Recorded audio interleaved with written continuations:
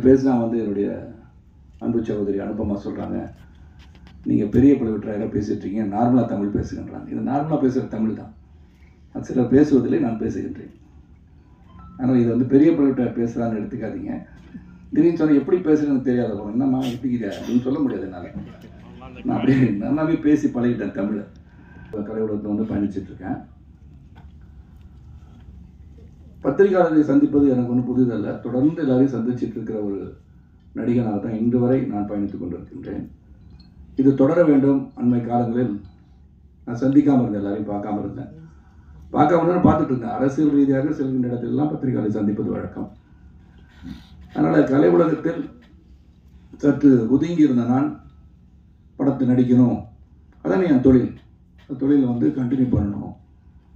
ஏன்னா அது இருந்தால் தான் நம்மளுக்கு வந்து அந்த பேஷன் என்னுடைய எண்ணங்கள் கலை உலகத்துக்கு வரணும்னு நினச்சேன். நான் வந்து அதை சாதிக்கணும்னு நினச்சேன்னா இன்னும் சாதிக்கிறதுக்கு நிறையா இருக்கனால அதை தீவிரப்படுத்த வேண்டும் எண்ணத்தில் நான் பயணிச்சிட்ருக்கேன் வந்து என்று பேரளவில் எல்லாரையும் சொல்லி கூப்பிடுற அளவுக்கு புதிதாக வந்தவர்களை தவிர அனைவருக்கும் தெரிகின்ற ஒரு நடிகனாக உங்கள் குடும்பத்தில் ஒருவனாக இருந்து கொண்டிருக்கின்றேன். உங்களை சந்திப்பது எனக்கு ரொம்ப நல்ல மகிழ்ச்சி. ஏன்னா பல முறை நான் நிறைய படங்கள் நடிக்கும்போது நீங்கள் படம் பார்த்துட்டு சொல்லும்போது இது என்ன சார் படம்? இல்லை நடிக்கணுமா நீங்கள் இப்படி தைரியமாக வந்து சொல்கிற நண்பர்கள் தான் இந்த கலைவகத்தில் என்னுடைய பத்திரிகையாளர் சகோதரம் ஊடக நண்பர்களும் அந்த இதில் பல தடவை சொல்லியிருக்காங்க இந்த படம் பண்ணியிருக்க வேண்டாமே. அப்படின்னு உரிமையோடு பேசுகின்ற ஒரு கிரிட்டிக்கல் அனாலிசிஸ் பண்ணுகின்ற என் சகோதரர்கள் அவங்கள பார்க்கவும் தான் சகோதர சகோதரிகளுக்கு வணக்கம் சொன்னேன். இந்த ப்ரெஸ் மீட்டுக்கு முக்கியத்துவம் என்னென்னா தொடர்ந்து நிறைய படம் பண்ணுறோம் அப்படின்னு சொல்லும்போது அது பகிர்ந்துக்கணும். எல்லாமே நீங்கள் தான் முதன்மை பாத்திரமான்னு கேட்டால் இரு கதாநாயகர்களோடும் சரி அது வித்தியாசமான கதாபாத்திரம் தான் கேமியோ ரோல்ஸும் சரி நெகட்டிவாக இருந்தால் அது எதற்காக அது நெகட்டிவ் பண்ணணும்னாலும் சரி இதை வந்து உணர்ந்து நம் முகம் தெரிய வேண்டும். இப்போ இருக்கிற ஜென்ரேஷனுக்கு சில பேர் என் படமே பார்க்காம இருந்திருக்கலாம். இப்போ பார்க்க ஆரம்பிச்சிருப்பாங்க. அவங்களுக்கு சென்றடைய வேண்டும் என்று சொன்னால் நாம் வந்து we should be there we should be present அது வந்து இந்த ஜென்ரேஷனில் அடுத்த ஜென்ரேஷனுக்கு அடுத்த ஜென்ரேஷனை ரீச் பண்ணுற அளவுக்கு நாம் இருக்க வேண்டிய எண்ணத்தில் தான் நான் வந்து இப்போ தொடர்ந்து நல்ல படங்களை செலக்ட் பண்ணி பண்ணிகிட்ருக்கேன் இருக்கேன். அந்த லிஸ்ட்டு தான் கையில் கொடுத்துருப்பாங்க. அது மட்டும் இல்லாமல் இந்த பொன்னியின் செல்வன் டூ இந்த ப்ரமோஷனுக்கு வந்து என்னால் போக முடியல. காரணம் இருபத்தோராம் தேதி தான் நான் சென்னைக்கு வந்தேன். அது அவங்களுக்கு தெரியும். ஆனால் இருபத்தொன்னாம் தேதிக்கு மேலே அவங்க ஏற்கனவே ப்ரோக்ராம் பண்ணிருந்தபடி அவங்க போயிட்டாங்க. ஸோ அவங்களெல்லாம் சந்திக்க முடியல ரசிகர்களை சந்திக்க முடியவில்லை. சரத்குமார் என்ன ப்ரொமோஷனுக்கே வரலையா அப்படின்னு கேட்குறவர்களுக்கு அழைக்கப்பட்டிருந்தேன் செல்ல முடியவில்லை. ஆகவே நான் செல்லவில்லை என்ற கருத்தை நான் பதிவு செய்து கொள்கிறேன். நான் நல்லா ப்ரொமோஷன் பண்ணி நல்லபடியாக அந்த படம் இன்று வெற்றி படமாக பலரும் என்னை அழைத்து நல்லா பண்ணியிருக்கேன் உங்கள் பார்த்தோம் நல்லா இருக்குது அப்படின்னு சொல்கின்ற அளவில் பெருமையை சேர்த்திருக்கிறார்கள். என்னை பொறுத்தவரை இந்த வாரிசும் பொன்னியின் செல்வன் ஒன் பொன்னியின் செல்வன் டூ இதெல்லாம் ஒரு வேறு லெவலுக்கு வேறு லெவல்னு சொன்னால் இன்றுள்ள கலை உலகத்தில் இருக்கின்ற இன்று ரசிக பெருமக்களுக்கு வந்து என் படமே பார்க்காமல் இருக்கிற ஒரு நியூ ஜென்ரேஷனுக்கு சரத்குமார் சோ அண்ட் சோ நல்லா நடிக்கிறாரு. இது டன் அப்படின்னு சொல்கிற அளவுக்கு பெருமை. ஏன்னா அது தெரியுது. கண்கூடாக தெரிவதை நான் வந்து இது முந்தி நடக்கலையான நடந்தது தான் இப்போ அதிகமாக நடக்குது. நான் தொடர்ந்து வந்து படப்பிடிப்புக்கு கொச்சின் போகிறேன் ஹைதராபாத் போகிறேன் பாம்பே போயிருக்கேன். அதை பற்றி நான் அடுத்த ப்ரெஸ் மீட்டில் சொல்லுவேன். அந்த promotion for Hindi film will be made later நான் அதை அவங்களே சொல்லுவாங்க. அப்போ நான் வந்து இந்த- ரசிகர்கள் அதிகரித்திருப்பதை என்னால் பார்க்க முடியுது உணர முடிகிறதுன்னு சொல்லலாம். அது காரணம் ஒன்று வந்து மணிரத்னம் சார். ஏன்னா பொன்னியின் செல்வனில் இருக்கிற பாத்திரங்கள் எப்படி அந்த பாத்திரத்தை சிறப்பாக நடித்திருப்பார்கள் என்ற ஆவலாக இருந்தவர்களுக்கு அந்த படத்தில் நம்ம இருக்கோம்னு சொல்லும்போது மணிசார் படத்தில் நடிக்க முடியலையான்னு சொல்லி எண்ணிக்கொண்டிருப்பவர்களுக்கு அந்த படத்தை நான் நடித்தது வானம் பட்டுட்டும் சரி அதுக்கப்புறம் இந்த படம். அது அந்த ஜானர் மணிரத்னம் சாருக்கு இருக்கிற மிகப்பெரிய உலகளாவிய ஒரு ஆடியன்ஸை கொண்டு போய் சேர்த்துருச்சு. அங்கே என்னுடைய பாத்திரமும் சிறந்த ஒரு பாத்திரம் பெரிய பருவற்றாயர் அது வந்து நடிக்கின்ற வாய்ப்பும் சரி இருக்கின்ற தோற்றத்தின் கம்பீரமும் சரி அந்த கதைக்கும் கதாபாத்திரத்திற்கும் சிறப்பாக அமைந்திருந்ததை அவர் வந்து உணர்ந்து வெளிக்கொண்டிருக்கிறார். அவருக்கு மீண்டும் ஒரு முறை இங்கே நன்றி சொல்கின்றேன். அது மட்டும் இல்லை ரசிகர்களுக்கும் நான் நன்றி சொல்ல கடமைப்பட்டிருக்கேன். இந்த படத்தை பார்த்து எல்லா இடத்துலையும் பார்க்கும்போதும் சரி படம் வரத்துக்கு முன்னாடி sir waiting for Ponni PS two அப்படின்னு படித்தவர்கள் மத்தியிலும் பாமரர்கள் மத்தியிலும் அது ரீச் ஆயிருந்துச்சு. அதுக்கு மீண்டும் மறுபடி லைகா ப்ரொடக்ஷன் சுபாஷ்கரன் அவர்களுக்கும் மணிரத்னம் அவர்களுக்கும் நான் நன்றி சொல்ல கடமைப்பட்டிருக்கேன். அதே மாதிரி வாரிசு வம்சி சாருக்கும் விஜய் அவர்களுக்கும் நன்றி சொல்கிறேன் அந்த பாத்திரம் சொன்ன உடனே அந்த படம் வந்து நிச்சயமாக ஏற்றுக்கொள்கின்ற ஒரு தந்தை மகனின் பாசத்தை வெளிக்கொண்டு வருகின்ற ஒரு சிறந்த படமாக அமையும் என்ற நம்பிக்கை இருந்துச்சு. அதுவும் என் நடிப்பை பார்த்து எல்லாரும் பாராட்டினாங்க. முக்கியமாக நான் வந்து இதில் வந்து பாராட்டுதல் ஒருவருடன் பெற்றிருக்கிறேன்னு சொன்னால் பாரதி ராஜா சார் ஃபோன் பண்ணி சரத் எக்ஸ்ட்ராடனரி அவருடைய ஆங்கிலத்தையும் தமிழையும் கலந்து பேசியது ரொம்ப சிறப்பாக பண்ணியிருக்கியா? கண்கள் பேசியது காட்சிகளில் அப்படின்னு சொன்னார். அந்த அளவுக்கு பாராட்டப்படுற அளவுக்கு விடுதலை கண்கள் தான் நடிச்சிட்டு இருந்துச்சு. இப்படி தான் நான் பண்ணிட்டு இருந்தேன். ஆனால் பார்க்கவில்லை சிலர். பார்த்தவர்கள் என்று அதை பரவசம் அடைந்திருக்கிறார்கள். நான் ரசிகர்களை சொல்கின்றேன். பாரதிதாசன் சார் தொடர்ந்து என்கிட்ட பேசிட்டு இருக்கும்போது வரும்போதெல்லாம் பேசுவார் நல்ல படங்களை பண்ணணும்னு பேசிட்டு இருப்பார். அவர் வந்து பாராட்டினது ரொம்ப பெரிய ஒரு மகிழ்ச்சியாக இருந்தது எனக்கு இதுதான் என்னோட கலை உலக பயணம். இது தெரியும்.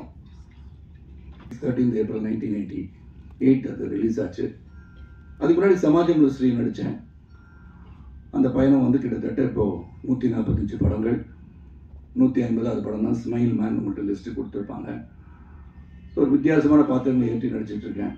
இப்போ மலையாளத்தில் பார்த்தீங்கன்னா திலீப் கூட பேண்டானோட படம் பண்ணிகிட்ருக்கேன் கன்னடத்தில் ஒரு படம் பண்ணிகிட்ருக்கேன் தெலுங்கில் வந்து அனில் ரவி கூட பாலையா கூட ஒரு படம் பண்ணிகிட்ருக்கேன் கங்கபலின்னு ஒரு படம் கேமியோன்னு பண்ணிகிட்ருக்கேன் அங்கே வந்து ஒரு நெகட்டிவ் கேரக்டர் பண்ணுவோம். அதுவும் காஞ்சனா காம்பினேஷனுக்கு அப்புறம் எனக்கு லாரன்ஸ் வந்து அண்ணன் இந்த படத்தை பண்ணால் நல்லா இருக்கும்னு சொன்னதான் ருத்ரன். அதில் வந்து நெகட்டிவ் ஷேட் அப்படின்னு சொல்லும்போது சற்று தயங்கினேன்.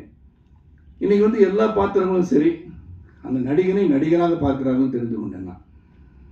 இந்த படத்தில் கொடுக்கப்பட்ட கேரக்டர் சிறப்பாக நடிச்சிருக்காங்களா?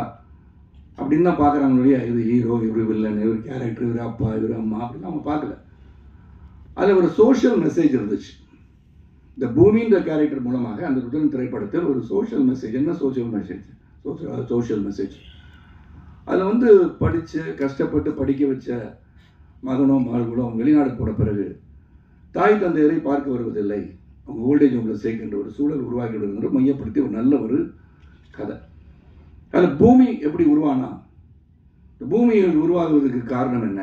பூமியோட கேரக்டர் நான் சொல்கிறேன் அது காரணம் இவங்களாம் வரதே இல்லைன்னு சொல்லும்போது இப்போ வந்து பேக்கெட்டில் வந்து ஒரு பத்தாயிரம் ரூபாய் வச்சுக்கிட்டு தினமும் பேண்ட்டை கழட்டி போட்டு போனால் சட்டையை கழட்டி போனால் பர்ஸை வச்சுட்டு போனால் வீட்டில் இரநூறுபாய்க்கோ ஐநூறுரூபாய்க்கோ ஆயிரம் ரூபாய்க்கு வேலை செய்கிறவங்க டெம்ட் ஆகிடுவாங்க இல்லை அது நான் தான் கிடக்குது ஒரு நாள் எடுத்து பார்த்தா என்னன்னு எடுத்துருவாங்க அது நடக்கின்ற சூழல் அவங்களுடைய கட்டாயமாக இருக்கலாம்.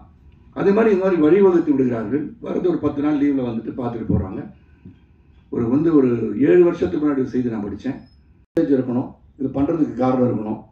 ஹீரோ உதைக்கிறதுக்கு வாட்ட சாட்டமாக இருக்கான்னு சொல்லி உதைக்கிறதுக்கு கூப்பிட்டு நான் போகிறதுக்கு தயாராக இல்லை. எந்த கேரக்டராக இருந்தாலும் சரி அது நல்ல ஒரு பாத்திரமாக இருக்கணும் வாய்ப்பு இருக்கணும் ஸ்கோப் இருக்கணும். அதில் நடிக்கணும்னு ஆசைப்பட்றேன்.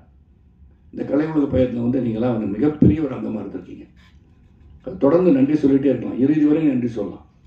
இறுதி மூச்சு நன்றி சொல்லலாம். அது உள்ளத்தின் அடித்தளத்துன்னு சொல்கிறேன் அவங்களை சந்திக்கிறது ஏதோ பப்ளிசிட்டி கிடைக்குது எனக்கு.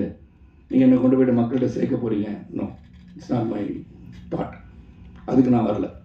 உங்களை சந்திக்கணும்னு உண்மையாக உள்ளத்தின் அடித்தளத்தில் விரும்புகிறவன் நான். அதனால தான் அவங்க வந்து பார்க்கணும் தொடர்ந்து சந்திக்கணும்னு நினைக்கிறேன். ஏன்னா இப்போ அடுத்த மாதம் நான் வெளிநாடு பயணமாக ஒரு படத்துக்காக போகிறேன் அதோடைய promotion before leaving will do very big way அதை அனௌன்ஸ் பண்ண பிறகு நாங்கள் பயணமான இருபது நாள் ஷூட்டிங் அவுட் சைடு கண்ட்ரி போயிட்டு வந்தோன்னே பரம்பரா வந்து தேர்ட் சீசன் நடிக்கிறேன். ஆர்கா மீடியா பாகுபலி ப்ரொடியூசர்ஸ்க்கு அது முடிஞ்ச ஸ்மைல் மேனை முடிக்கணும். அப்புறம் சமரன் ஒரு படம் பண்ணிகிட்ருக்கேன் அது ஒரு சோஷியல் மெசேஜ் உள்ள படம். இப்படி வரிசையாக படங்கள் நடிச்சிட்ருக்கேன். அதனால் இந்த பயணம் தொடர வேண்டும். என்று போல் உங்களை ஆதரவு எனக்கு இருக்க வேண்டும். அந்த ஆதரவு இருந்தால் தான் என்னால் வளர முடியும். ஏன்னா பல சோதனைகளை கடந்து வந்தவன் நான். அது காரணம் என்னுடைய தன்மை தன்னம்பிக்கை என்னுடைய உறுதி என்னுடைய உழைப்பு. உங்களை போல பத்திரிகை சேவலும் ரசிக பெருமக்களும் தொடர்ந்து என்னை ஆதரித்து தான் நான் இங்கே நிற்கிறேன். அதுக்கு மீண்டும் நன்றி சொல்ல விடும். தொடர்ந்து நன்றி சொல்லணும் காரணத்துக்காக தான் உங்களை நான் சந்திக்க வந்திருக்கேன். நீங்கள் என்ன கேட்க வேண்டுமானாலும் கேளுங்கள். கவிதா போன்றவர்கள் சினிமாவை பற்றி கேட்கும்போது காதலியை பற்றி கேட்கும்போது கேளுங்கள். அதெல்லாம் ஒரு உன்னதமான விஷயம் தானே. சார் சூர்யா வம்சம் டூன்னு போட்டு வந்த பிறகு அதில் கலந்துக்காதது உண்மை தான் கலந்துக்காத காரணம் வந்து இது அல்ல. நீங்கள் கேட்குற காரணம் கிடையாது. அது வந்து எல்லாரும் வந்து ப்ரோக்ராம் பண்ணி அவங்க ஜெட்டில் கிளம்பிட்டாங்க. ப்ரைவேட் ஜெட்டில் கிளம்பிட்டாங்க. அதனால் அது ப்ரோக்ராம் பண்ணியிருப்பாங்க. அது பேசஞ்சர்ஸோட லிஸ்ட்டு கொடுத்துருப்பாங்க.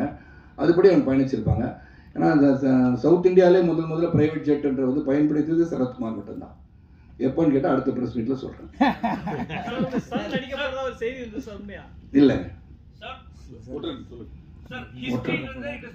ஹிஸ்ட்ரி வந்து வேனிஷ் ஆகுது வாய்ப்பே கிடையாது சார். ஏன்னா நீங்கள் சொன்னதில் ஒன்று உரிமை இருக்குது ராஜராஜ சோழனுக்கு அடுத்தபடியாக வந்து ராஜராஜேந்திரன் சோழன் தான் கெடா வரைக்கும் பயணித்தார். மலேசியாவில் பார்த்தீங்கன்னா ஆயிரம் ஆண்டுகளினுடைய விழா சிறப்பாக எடுத்தார். கெடாராம் கண்ட சோழ மன்னன் ராஜராஜேந்திரன் சோழன். ஸோ ஹிஸ்ட்ரி தெரியாதவங்க யாரும் கிடையாது. அது இந்த வந்து படிக்கிறதுக்கு உந்துதலாக இதை எடுத்துக்கொண்டு உண்மையான ஹிஸ்ட்ரி என்னன்னு படிக்கிறதுக்கு வாய்ப்பு இந்த படம் தந்திருக்கிறது எடுத்துக்கொள்ளலாம் அப்படின்னு சொல்லி எடுத்துக்க வாய்ப்பும் இருக்குதுல்ல. அப்படிதான் எடுத்துக்குவாங்க. ஏன்னா நீங்கள் சொன்னதே பார்த்தீங்கன்னா lot of people not reading books இப்போ நான் அண்மையில் கூட நான் வந்து வீட்டில் இருந்த ஆறாயிரம் புத்தகத்தை வந்து இலவசமாக எங்கள் வீட்டுக்கு வெளியே வந்து புக்கை வச்சு எடுத்துகிட்டு போனா ஆர்வத்தோடு வந்து வாங்கிட்டு போனாங்க. அது inculcating the habit of reading is very important அதுதான் ரீட்டைன் ஆகுது தலையில். இப்போ பார்த்தீங்கன்னா எல்லாம் பாம் வச்சுருக்காங்க. வேண்டிக்கின்ற செய்தியை அதில் பார்த்துக்கிறாங்க அப்புறம் ஆடியோ புக்ஸ் வந்துருச்சு. So reading is a different genre reading is a different என்ன ஹாப்பினஸ் இட் கிவ்ஸ் யூ அந்த புக்கை நீங்கள் எடுத்து எடுத்தோம் படித்து முடிச்சுட்டு வச்சோன்றது தான் நம்ம போல ஜென்ரேஷன்ஸ் வந்து இவ்வளோ இன்றைக்கி காலத்தின் ஓட்டத்தை எல்லாரும் புத்தகத்தை படிக்க முடியாது. ஆனால் செய்திகளை கேட்டெடுத்து கொள்கின்ற சூழல் இருக்குது இந்த Ponniyin Selvan as definitely kindle the the minds of people to know about Cholas That's it, sir. But my question was இந்த கொஸ்டின் புரிஞ்சுக்கிட்டேன் காமிச்சிருக்காங்க. இப்போ வந்து பார்த்தீங்கன்னா கங்கை சோழபுரமோ ராஜராஜேந்திர சோழன் கட்டிய கோயிலை பார்ப்பதற்காக மக்கள் செல்கிறார்கள். அதுக்கு உந்துதலாக இருந்திருக்காங்க. So they will like to know the true history so இந்த ஹிஸ்ட்ரியை இப்படி வந்து படமாக்கியிருக்காங்க. அப்படின்னு எடுத்துக்கொள்ளலாம் இல்லையா? லெட்ஸ் டேக் இட் பாசிட்டிவ்லி அது பெரிய பேக் ஸ்டோரியா இருக்கு. அறுபத்தி நாலு விழுப்புண்கள் பெற்ற பெரிய பழுவற்றார் என்ன செய்தார்? எந்தெந்த போருக்கு சென்றார்? அதன் தொடர்ச்சி என்ன? நந்தினியை சந்தித்தது எப்படி? இப்படின்னு ஒரு கதையை பண்ணலாம். அதுக்கான வாய்ப்பு இருக்கு. லைக்கா ப்ரொடக்ஷன்ஸில் உங்களுடைய கருத்தை நான் பதிவு செய்கின்றேன். நிச்சயமாக அதை நடிப்பதற்கு எனக்கு ஆர்வம் இருக்கிறது. நந்தினியாக நடிக்க ஐஸ்வர்யா ஆர்வமாக இருக்கிறார்கள் இல்லையா தெரியவில்லை.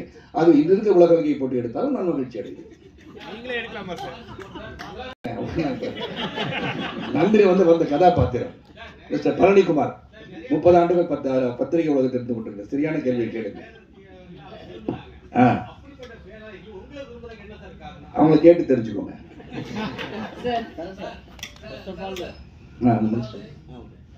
I come here to stay I accept challenges.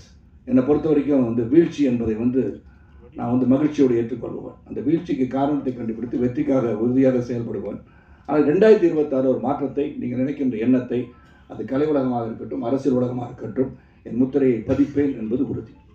உழைப்பு உண்மை நியாயம் தர்மம் தயாரிப்பாளரின் வழி உணர்ந்து நீங்கள் எடுத்துக்கிட்ட பேஷனில் உறுதியாக இருந்து அந்த தொழிலில் சிறந்து வர வேண்டும் என்று அவர்களை வாழ்த்துகிறேன்.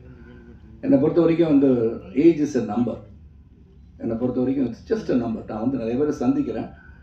எனக்கு ஒன்று வந்து என்னோடய அமைப்பு அப்படின்னு நினைக்கலாம். என் தந்தையார் இஸ் வெரி ஸ்ட்ராங் பர்சன் என்னுடைய சொந்தங்க பந்தங்கள் எல்லாமே strong person strong personalities also என்னை பொறுத்த வரைக்கும் அந்த உடற்பயிற்சி என்பது வந்து ஊறி போய்விட்டதால் இந்த அளவில் அந்த ஃபிசிக்கல் எபிலிட்டிஸ் ஆஃப் மைண்ட் அந்த ஃபிசிக்கல் எபிலிட்டி மென்டல் ஸ்டெபிலிட்டி தருது. ஸோ உள்ளத்தாலும் உடலாலும் உறுதியாக இருக்கின்றேன். நேற்று கூட நான் ஒரு ஆக்ஷன் சீன் நைட்டில் வந்து பண்ணிட்டு இருந்தேன். இப்போ பார்த்தீங்கன்னா முப்பத்தாறு மணி நேரம் உறங்காமல் இங்கே வந்து நிற்கிறேன் உண்மை. இருபத்தெட்டாம் தேதி ஆறு மணிக்கு நான் வந்து படப்பிடிப்ப ஆரம்பித்தேன் மார்னிங் இருபத்தொம்போது மார்னிங் ஆறு மணிக்கு அஞ்சு மணி நாலரை மணிக்கு முடிச்சுட்டு விமான தளத்துக்கு சென்று ஆறு மணி ஃப்ளைட்டை பிடிச்சி நேராக ஒரு மூ முக்கியமான மீட்டிங் பாரிஸில் இருந்தது. பாரிஸ்னால் இங்கே. அங்கே போயிட்டு two and half hours attend the meeting வீட்டுக்கு போகும்போது மணிக்கு ஒன்று சாப்பிட்டேன் ரெண்டு மணிக்கு புறப்பட்டேன். நாலு மணி ஃப்ளைட்டை பிடிச்சி திரும்பி நட- ஹைதராபாத் போனேன். நடித்தேன் காலையில் ஆறு மணியை விட்டு இங்கே வந்தேன். ஒரு ரெண்டு மணி நேரம் வீட்டில் ரெஸ்ட் எடுத்துகிட்டு அழைக்கப்பட்ட நேரத்திற்கு நான்கு ஜீரோ ஒன்று உள்ளே நுழைந்து விட்டேன்.